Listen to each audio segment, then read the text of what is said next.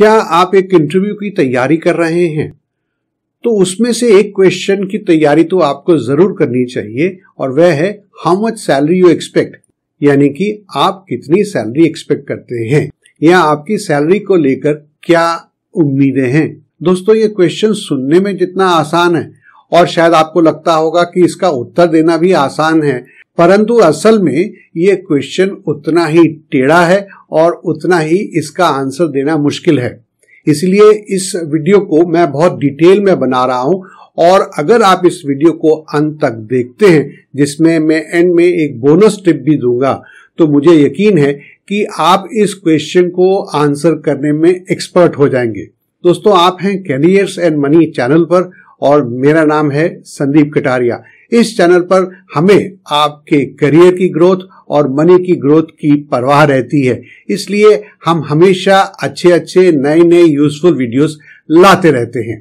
तो इस चैनल को अभी सब्सक्राइब कर लीजिए और चलिए अब बढ़ते हैं इस वीडियो के सब्जेक्ट की तरफ़।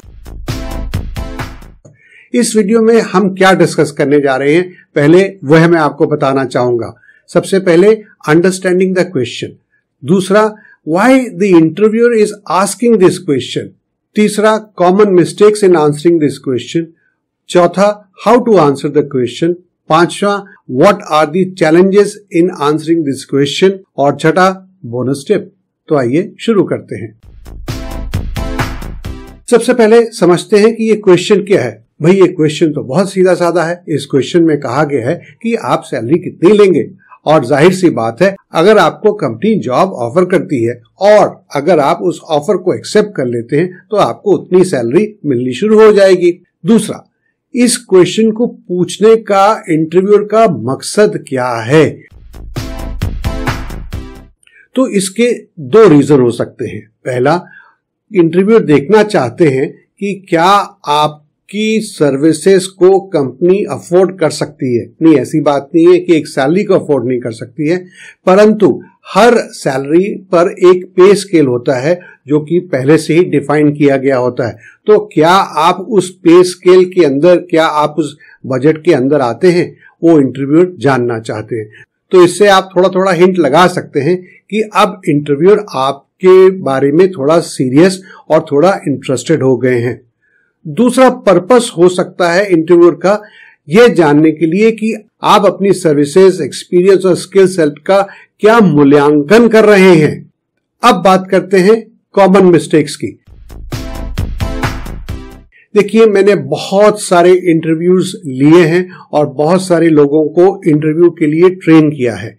जब ये मैं उनके साथ ये क्वेश्चन पूछता हूँ तो कई बार मुझे बहुत ही अटपटे जवाब मिलते हैं, जिसके बारे में मैं आपको वार्न करना चाहूँगा। जैसे कि मैंने पूछा how much salary you expect तो वो व्यक्ति कहेगा सेवेंटी फाइव देखिए, ये बहुत गलत आंसर है। इसमें बहुत सारी गलतियाँ छुपी हुई हैं। सेवेंटी फाइव क्या? क्या आपको पचहत्तर रुपए चाहिए? क्या पचहत्तर रुपए रोज के चाहिए? हफ़्ते के चाहिए? महीने के चाहिए? या साल के चाहिए? अच्छा हो सकता है कि पचहत्तर एक बहुत ही, यानी कि सेवेंटी फाइव एक बहुत ही हास्यपद आंसर हो। चलिए हम सोचते हैं सेवेंटी फाइव थाउज़ेंड। तो क्या उनको seventy five thousand per month चाहिए या seventy five thousand per annum चाहिए? इसलिए फिगर को हमेशा पूरा पूरा बोलना चाहिए। दूसरा, चूँकि ऐसे करके बैठ के बात करना यह दर्शाता है कि आपका बड़ा ही लेड बैक एटीट्यूड है और शायद आप काम में भी एक लेट बैक रवैया दिखलाएँगे। तो इसलिए आपको थोड़ा आगे होकर, जरा सा आगे झुककर आपको जवाब देना चाहिए।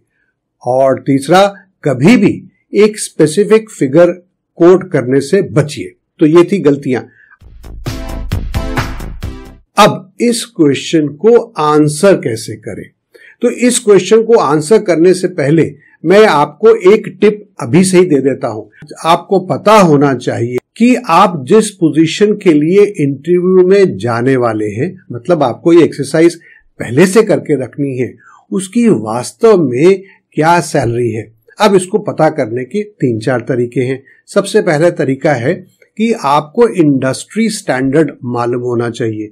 अब इंडस्ट्री स्टैंडर्ड मान लीजिए कि आपके पास तीन साल का एक्सपीरियंस है और आप कंप्यूटर इंजीनियर हैं और आप डेटा एनालिटिक्स के फ़ील्ड में काम करना चाहते हैं तो आपने तीन चीज़ें तीन चीज़ें स्पेसिफाई कर दी।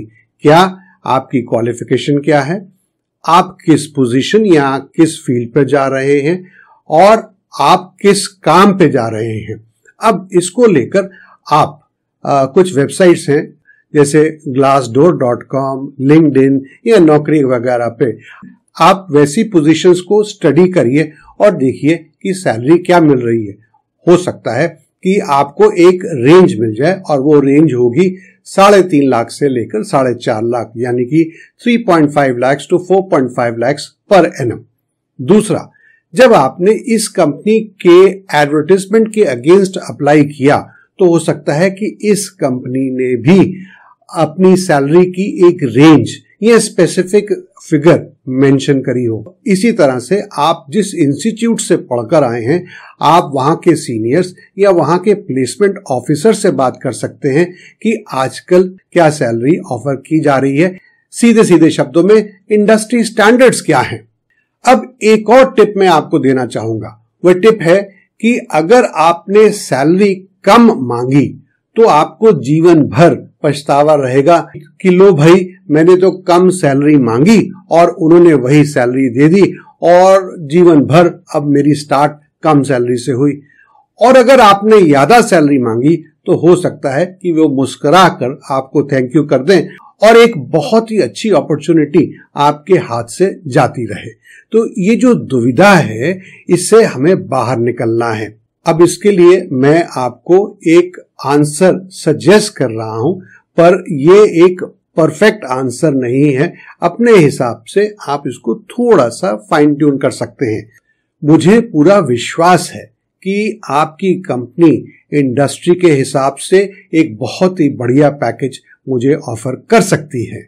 इस इंटरव्यू के दौरान मैं आपसे और ज़्यादा जानना चाहूँगा कि कंपनी ग्रोथ की अपॉर्चुनिटीज़ ट्रेनिंग एंड डेवलपमेंट की अपॉर्चुनिटीज़ क्या देती है? मुझे यह भी यकीन है कि अगर मैं आपके यहाँ काम करता हूँ तो मुझे ऑल राउंड एक बहुत ही बढ़िया एक्सपीरियंस जिसमें बहुत ही कुछ सीखना और मेरी तरफ़ से बहुत कुछ कंपनी के लिए करना शामिल है। तो इसलिए हम एक अच्छी सी फिगर के ऊपर एग्री कर सकते हैं। अब आपने क्या किया कि आपने थोड़ा सा घुमा के जवाब दे दिया। अगर तो इंटरव्यूअर समझदार है और वो जानता है कि सैलरी देना उनके हाथ में है तो वो शायद इस बात को और आगे नहीं लेकर जाएँगे। पर कभी कभी ये हो सकता है कि इंटरव्यूअर बोले, नहीं, आपको एक फिगर बतानी ही पड़ेगी, तब आप क्या करेंगे? तो उसका भी एक सोल्यूशन है मेरे पास। मैं आपको उसके लिए भी एक एग्ज़ाम्पल आंसर दे रहा हूँ, पर आपको उसे अपने हिसाब से थोड़ा मॉडिफाई करना पड़ेगा। तो आप कह सकते हैं कि जैसा कि आपने देखा ही है, मैं एक फ्रेशर हूँ। या मेरे पास दो साल का एक्सपीरियंस है और मैंने कंप्यूटर इंजीनियरिंग करी है और मैं डेटा एनालिटिक्स के फ़ील्ड में ही काम करता आ रहा हूँ और आपकी कंपनी में भी डेटा एनालिटिक्स के फ़ील्ड में काम करना चाहूँगा। इसलिए मैंने थोड़ी सी मार्केट रिसर्च करी है, अपने सीनियर से बात करी है और अपने इंस्टीट्यूट से बात करी है तो उन्होंने मुझे बताया है कि इस पोजीशन के लिए जो रेंज है, वो 3.5 लाख से लेकर 4.5 लाख है। अब मुझे यकीन है कि मैं 4.5 लाख के योग्य हूँ। पर फिर भी मैं अपने आप को आपके सामने प्रूव करना चाहूँगा। इसलिए 4 लाख या उससे ऊपर आप जो भी ऑफ़र करेंगे, मुझे मंजूर होगा। तो ये था दूसरा मॉडल आंसर अब बात करते हैं बोनस टिप की। देखिए सैलरी में कुछ नहीं रखा है। ये सैलरी आपकी सिर्फ़ अगले 12 महीनों के लिए है, या 6 महीनों के लिए है, या 15 महीनों के लिए है, जो भी इंडस्ट्री का ट्रेंड है और जो भी देश के इकोनॉमिक पोजीशन है। परंतु आपको तो तरक्की करनी है तो इसलिए आप एक निश्चय आज ही से कर लीजिए कि अपनी इनकम का पाँच प्रतिशत से लेकर दस प्रतिशत अपने ऊपर आप ज़रूर इन्वेस्ट करेंगे। किस चीज़ में इन्वेस्ट करेंगे? अपनी पर्सनालिटी डेवलपमेंट अपनी स्किल्स डेवलपमेंट इससे क्या होगा कि आप कंपनी के लिए हमेशा एक बहुमूल्य रिसोर्स एक वैल्यूबल रिसोर्स बन के रहेंगे। उन्हें पता है कि जैसे जैसे टेक्नोलॉजी इंप्रूव हो रही है, या चीज़ें चेंज हो रही हैं तो यही कैंडिडेट है जो सबसे आगे बढ़कर इस काम को एक्सेप्ट करेगा। तो जब कंपनी का आपके ऊपर ये कॉन्फिडेंस होगा तो क्या आप समझते हैं कि आपको इंक्रीमेंट या प्रमोशन या दोनों नहीं मिलेंगे। तो इस वीडियो में बस इतना ही और इस वीडियो में मैंने अपना इतने सालों का पर्सनल एक्सपीरियंस आपके साथ शेयर किया है। उम्मीद है आपको फ़ायदा होगा। मिलते हैं एक और नए वीडियो में।